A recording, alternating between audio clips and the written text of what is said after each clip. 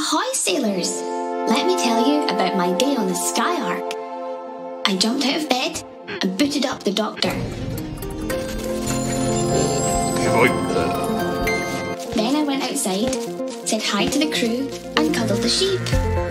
So soft!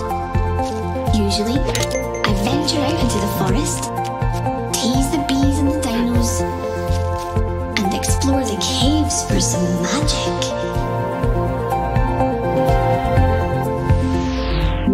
yesterday, yesterday the spirits were restless.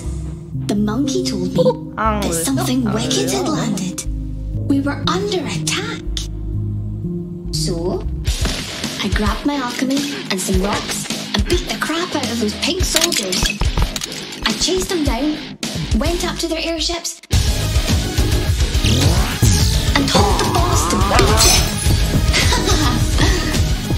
that was fun, also quite exhausting. I went back to the farm and dropped flat on my pillow. Ah.